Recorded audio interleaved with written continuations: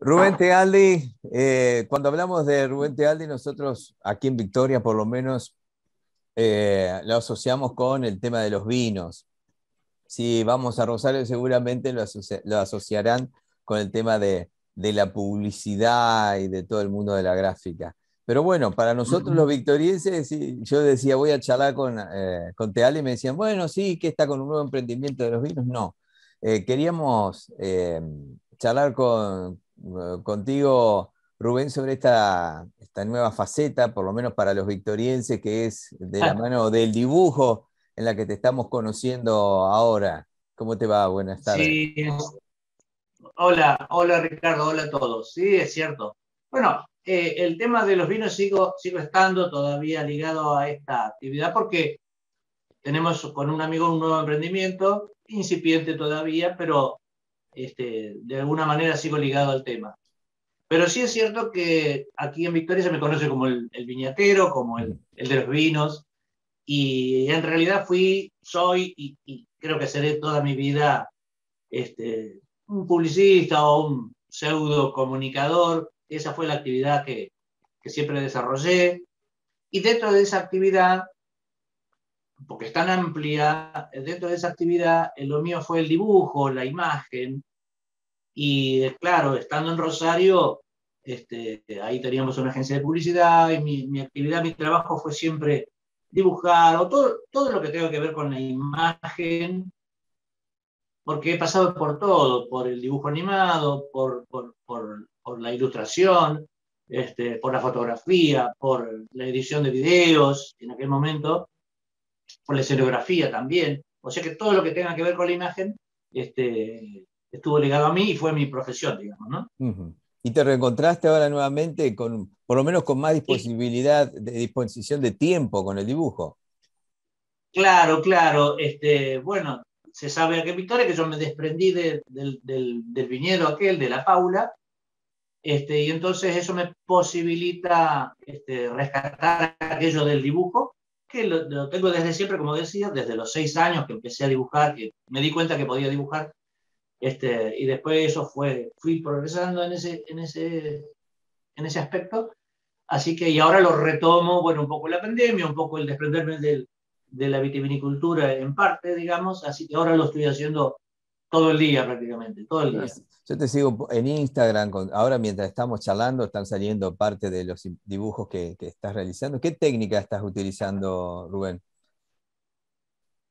Ya, eh, bueno, e inclusive las técnicas las he probado a todas, pero ahora me estoy, eh, estoy trabajando en lo más simple, me parece a mí, lo más cómodo en este momento para mí, que es el lápiz, papel y lápiz, el lápiz, directamente el lápiz. El color también lo hago, uso la, la, la pantalla para colorear en Photoshop, trabajar en esos programas, que también la acuarela, ese tipo de cosas, pero eh, lo que se está viendo seguramente, o lo que está compartiendo ahí con, la gente. Así que bueno, me siento muy cómodo y estoy haciendo eso, este, soltándome cada día un poquito más y aprendiendo ahora que estoy este, prácticamente todo el día trabajando en eso, este, participando en algunas muestras, este, haciendo cosas que a mí me gustan, que me parece que puedo rescatar algo para seguir con esto y, lo voy haciendo.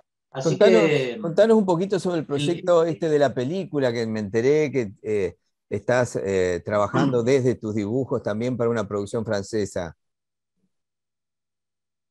Claro, sí. Bueno, esto es a partir de que uno va publicando y, compartiendo lo que uno va haciendo, este, surgió la posibilidad de trabajar para para una futura película, sí, para, para Francia, para una futura película de animación, este, que es bastante importante, muy interesante, muy linda, muy divertido hacerlo, porque era una de las cosas que seguramente ahí deben estar, se debe estar compartiendo alguna imagen. Este, era, una, era una cuenta pendiente dentro del dibujo, era una cuenta pendiente que, yo, tenía para conmigo era de incursionar un poco esto del cómic, de la historieta, y esto, eh, si bien no es una historieta, no es un cómic, eh, pero está bastante cercano y ligado. En realidad es la parte previa a la película.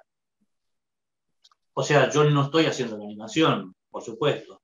Eh, lo que estoy haciendo ahora es lo que se llama storyboard, que es contar, contar eso que está escrito en un libro o en, eso que, se ha escrito, darle imágenes eh, y, dibujar cada escena, digamos, las escenas puntuales.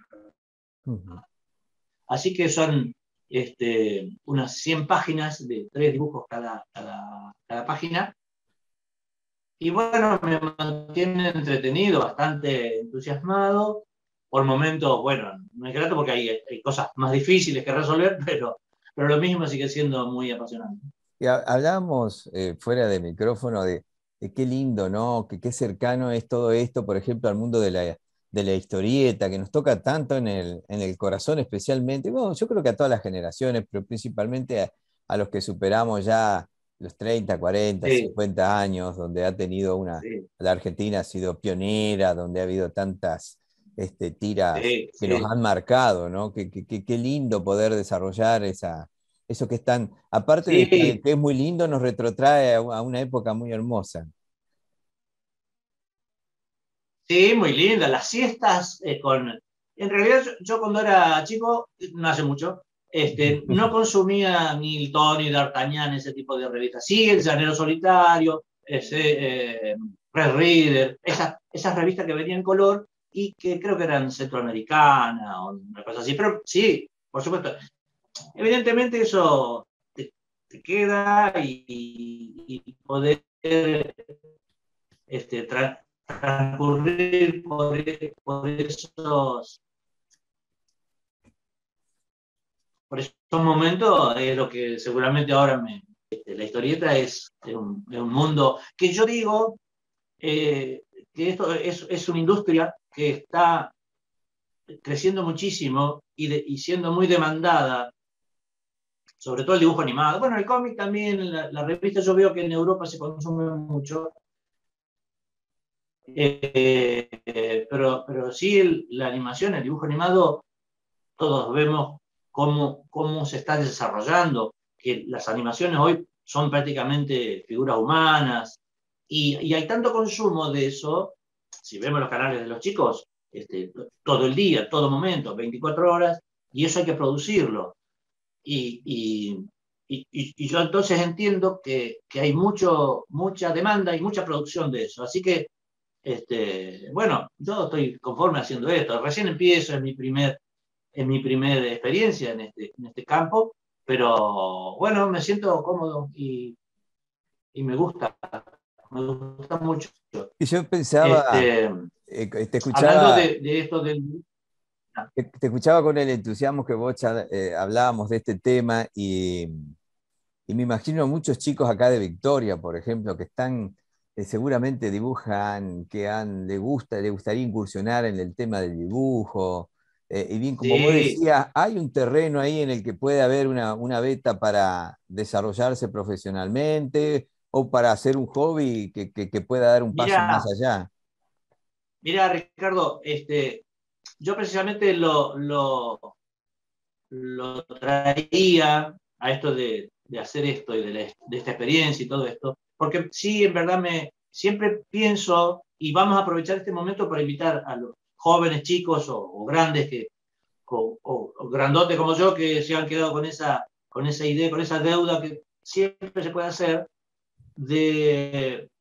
A mí lo que me gustaría es, pienso eso como vos, debe haber tantos chicos este, y personas o gente que, que, que, que tal vez tienen ese fuego y esas ganas de dibujar, y hay muchos, y estoy seguro que hay muchos aquí en Victoria, que a lo mejor no tienen la posibilidad porque, o porque, no, porque el, dinero no alcanza para comprar eh, ciertas cosas, o porque, o porque no hay una mesa en casa, una comodidad, digamos, como para que, el chico pueda, y entonces queda desanimado, y entonces, bueno, se dedica a otra cosa, y eso pasó, y a lo mejor se podría aprovechar. Entonces yo, ¿qué, qué me gustaría? Por lo menos algo, algo muy pequeño, que contactarme con ellos, que me vean, que me llamen, este, que se puede, que no es necesario tanto, que se puede, este, y que, que, me llamen, que me llamen porque a mí me gustaría echarle leña a ese fuego.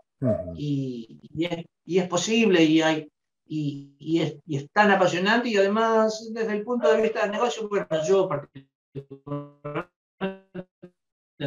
no sé hacer negocio, pero pero sí hay con el mundo y, sabemos que nuestros, que, nuestros precios son, están bajos, por lo tanto es conveniente trabajar con argentinos, a nosotros nos viene bien, eh, y es una salida laboral interesantísima, y, con infinito no tiene techo esto, esto no tiene techo. Entonces, ¿qué me gustaría a mí? Charlar con ellos, con algunos de ellos que se acerquen, este, y que, podamos ayudarnos, eh, qué sé yo, aprender y, compartir y, y entusiasmar.